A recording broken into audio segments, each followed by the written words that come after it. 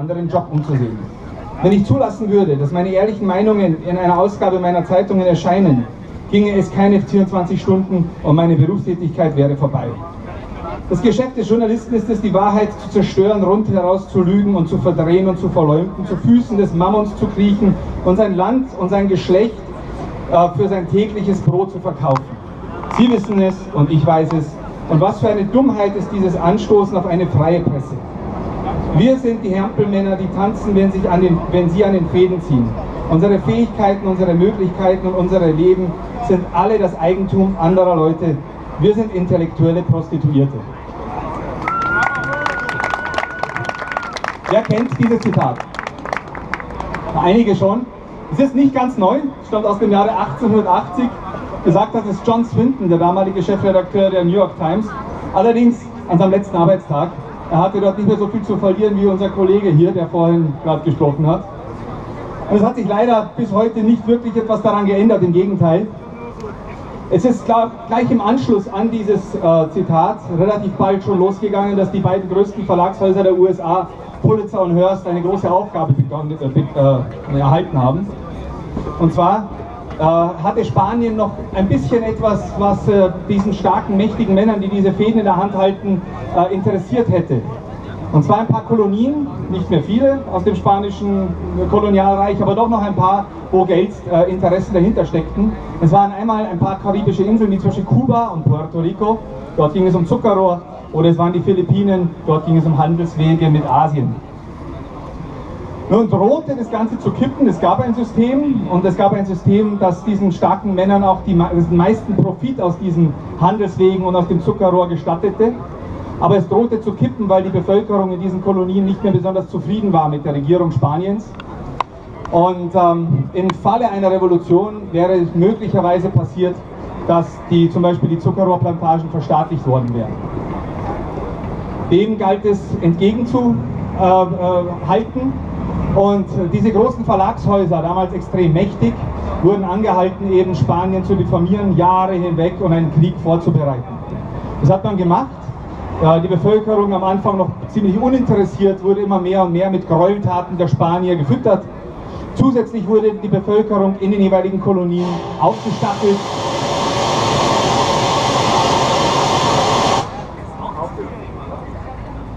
Alle guten Dinge sind Jawohl, was Jetzt? Einen Moment noch.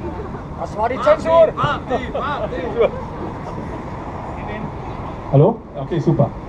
Wurden aufgestachelt gegen ihre spanischen Verwaltungsherren oder wie man es nennen möchte. Und ähm, man brauchte natürlich einen echten Zünder, ein Ereignis, das seinen Krieg äh, dann richtig auch vom, vom Damm bricht.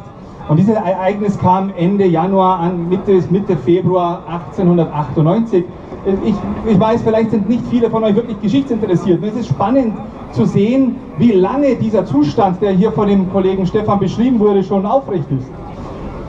Am Ende Januar 19, äh, 1898 äh, schickte die US-Regierung, damals von äh, Präsident McKinley, ein amerikanisches Schlachtschiff, die USS Maine, in den Hafen von Havanna als einen Freundschaftsbesuch.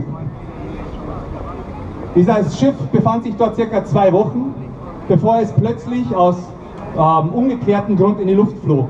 266 Marinesoldaten kamen ums Leben und äh, sogar die Navy-Offiziere äh, hielten das Ganze für einen Unfall. Nicht so die US-Regierung, die sofort Spanien den Grund gab oder die, die Schuld zuschob und Spanien zu Terroristen erklärte und behauptete, das Schiff wäre vom Hafen Havannas aus torpediert worden. Die Spanier dementierten das, forderten eine unabhängige Untersuchungskommission. Diese wurde verweigert, es gab keine Zeit mehr. Die USA erklärten Spanien den Krieg. Der Krieg dauerte circa ein halbes Jahr, kostete einigen tausend Männern das Leben. Die USA gewannen alle die Kontrolle über alle diese ehemaligen spanischen Kolonien. 1976 dann hat dann eine unabhängige Taucherkommission sich das Wrack nochmal angeschaut und festgestellt, dass die Explosion des Schiffes von innen kam. Es gab einen Präsidenten, der viel riskiert hat und am Ende auch verloren hat.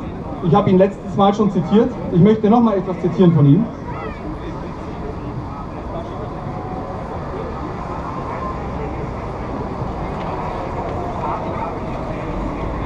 Und zwar, zwar Kennedy, Drei Monate nach der ähm, Abschiedsrede von seinem Vorgänger Eisenhower, in dem er vor, dem, vor der Machtübernahme durch den militärisch-industriellen Komplex gewarnt hat, hielt Kennedy eine Rede vor den mächtigsten Verlegern und, und, und Vertretern der Medien in den USA und äh, versuchte sie für die US-Regierung als Partner zu gewinnen. Allerdings nicht als Lakai, sondern wirklich als Partner, der auch, der, der auch die US-Regierung hätte kontrollieren sollen. Er sagte wörtlich, ich ähm, habe es ein bisschen gekürzt, was wirklich lang gewesen wäre sonst.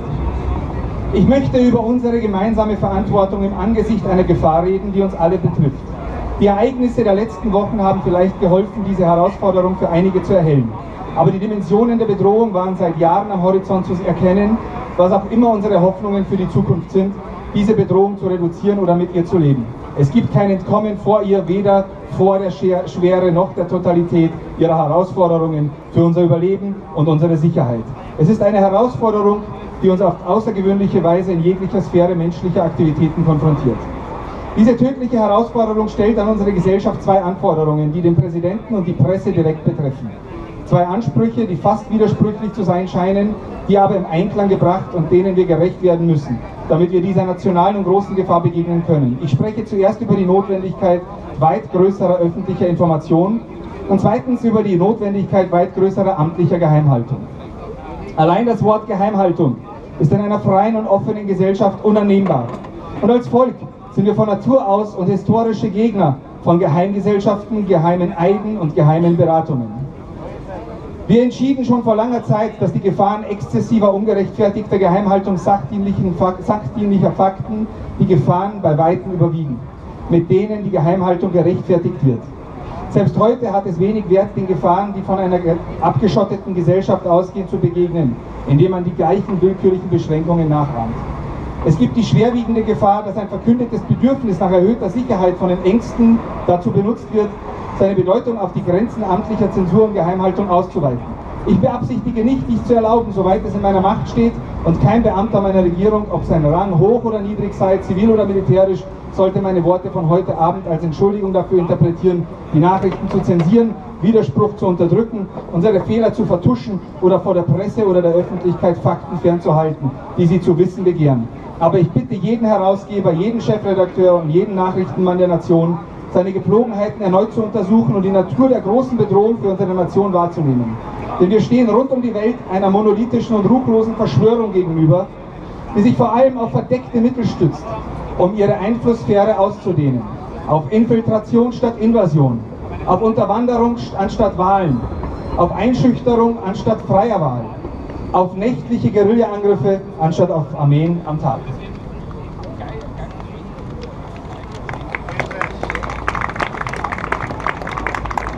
Es ist ein System, das mit gewaltigen menschlichen und materiellen Ressourcen eine eng verbundene, komplexe und effiziente Maschinerie aufgebaut hat, die militärische, diplomatische, geheimdienstliche, wirtschaftliche, wissenschaftliche und politische Operationen kombiniert. Ihre Pläne werden nicht veröffentlicht, sondern verborgen. Ihre Fehlschläge werden begraben, nicht publiziert. Andersdenkende werden nicht gelobt, sondern zum Schweigen gebracht. Keine Ausgabe wird in Frage gestellt. Kein Gerücht wird gedruckt. Kein Geheimnis wird enthüllt. Sie dirigiert den Kalten Krieg mit einer kurz gesagt Kriegsdisziplin, die keine Demokratie jemals aufzubringen, erhoffen oder wünschen könnte.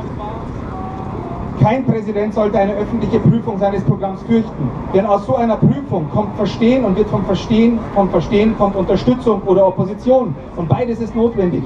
Ich bitte Ihre Zeitungen nicht, die Regierung zu unterstützen, aber ich bitte Sie um Ihre Mithilfe bei der enormen Aufgabe, das amerikanische Volk zu informieren und zu alarmieren, weil ich vollstes Vertrauen in die Reaktion und das Engagement unserer Bürger habe, wenn sie über alles uneingeschränkt informiert werden.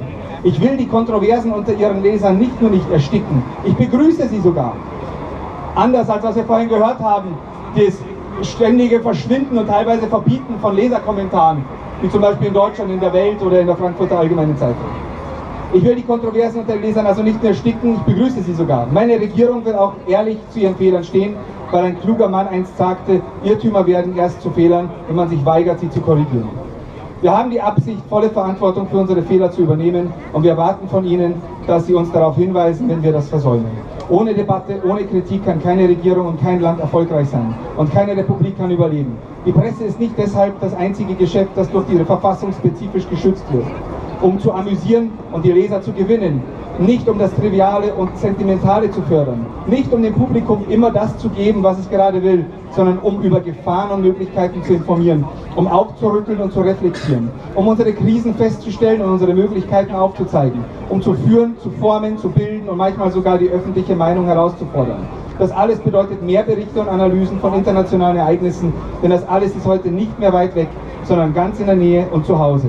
Das bedeutet mehr Aufmerksamkeit für besseres Verständnis der Nachrichten sowie verbesserte Berichterstattung und es bedeutet schließlich, dass die Regierung auf allen Ebenen ihre Verpflichtung erfüllen muss, sie mit den bestmöglichen Informationen zu versorgen und dabei die Beschränkungen durch die nationale Sicherheit möglichst gering zu halten.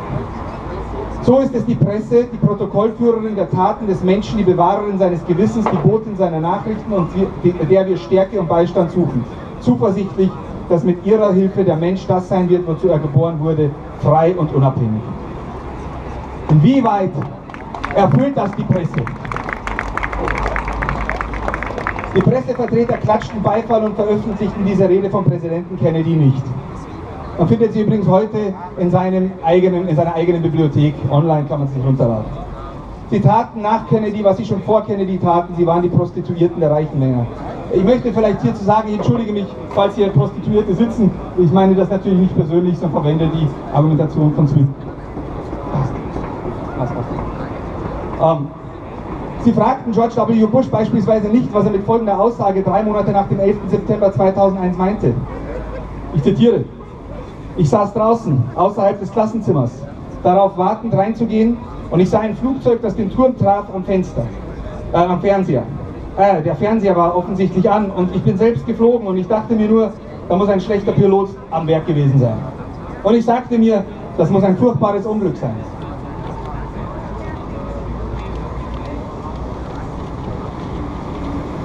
Sie fragten nicht, Mr. President, wie ist das möglich? Wo sahen Sie diesen Einschlag? Kein Fernsehsender übertrug diesen Einschlag vom ersten Flugzeug. Lassen Sie verschiedene US-Wolkenkratzer rund um die Uhr filmen und sehen sich die Bilder im Auto an. Wie konnten Sie das erste Flugzeug in einer Türme fliegen sehen, ohne zu wissen, dass dort ein Einschlag passieren würde? Während, zweite, während des zweiten Einschlages saßen Sie ja bereits im Klassenzimmer und lasen den Kindern die Geschichte vom Wolf und den sieben Geißlein vor, als sie das Buch verkehrt herumhielten. Wo sind die Fragen von unserer Presse, die die vierte Macht im Staat sein sollte. Ich habe noch ein paar Beispiele aktueller Art vorbereitet. Ich möchte nur auf eins eingehen und nicht mehr alle nennen. Ein abstruses, das vor kurzem, ich glaube letzte Woche aktuell war, unser sauberer Kommissionspräsident Barroso hat behauptet, Wladimir Putin hätte ihnen ein persönlichen Telefonat gedroht, er könnte in zwei Wochen äh, Kiew einnehmen. Ein amerikanischer äh, äh, Geschichts- oder, oder, oder Historiker ähm, hat daraufhin geantwortet, diesen Schwachsinn hat Putin sicher nicht gesagt, weil würde das Russland wirklich wollen, hätte Putin nicht gesagt, wir brauchen dazu 14 Tage, sondern maximal 14 Stunden. Sei es drum, äh, ich habe das damals auch nicht so ganz glauben können und habe gewartet, was passiert. Es ist relativ schnell was passiert und zwar hat äh, Russland sich natürlich aufgeregt über diese Behauptung und es gab eine Presseerklärung, in dieser wurde Barroso aufgefordert, diese Sache klarzustellen. Putin hat eine solche Aussage nie in dieser Form gebracht, ist aus dem, aus dem Zusammenhang gerissen, so wie man es vermuten konnte. Und falls Barroso das nicht klarstellt, ja, dann würde der, würde der Kreml in zwei Tagen das gesamte Telefonat äh, veröffentlichen und Barroso als Lügner hinstellen. So. Diese erste Geschichte, nämlich von diesen zwei Wochen, kam, glaube ich, in jeder Presse im Westen. In aller, aller, wirklich jeder. Am 4. September kam dann die Meldung, die EU-Kommission ruderte rechtzeitig zurück, bevor das Telefonat veröffentlicht wurde. Allerdings nicht in der deutschen Presse, nicht in der österreichischen Presse. Nein, äh, ihr könnt es nachlesen übrigens, online finden, einfach am Wall Street Journal und gebt ein in Google Wall Street Journal Barroso, Putin, 4. September und ihr habt den ganzen Artikel. Die EU-Kommission entschuldigt sich für einen aus dem Zusammenhang gerissenen Inhalt, der in dieser Form nie hätte an die Öffentlichkeit gelangen können. Ich weiß, es ist schwer, äh, immer wieder und immer wieder mit den Freunden und Bekannten, die unseren Mist nicht hören wollen, darüber zu sprechen. Und auch wenn unsere Bemühungen hier nicht von Erfolg gekrönt sein werden, dass äh, wir doch wieder in einen kalten oder einen heißen Krieg hineinschlittern. Deswegen trotzdem, also zumindest für mich persönlich, ich werde nicht aufhören, immer und immer wieder darüber zu sprechen. Ganz einfach, weil ich niemals in die Situation kommen möchte, dass eines Tages ähm, ich sagen muss, ja, ich habe gewusst, dass vieles nicht in Ordnung ist, aber ich habe mich nicht getraut, was zu sagen. Ich wünsche einen schönen Abend, danke. Dankeschön. So, jetzt haben wir jemanden, der muss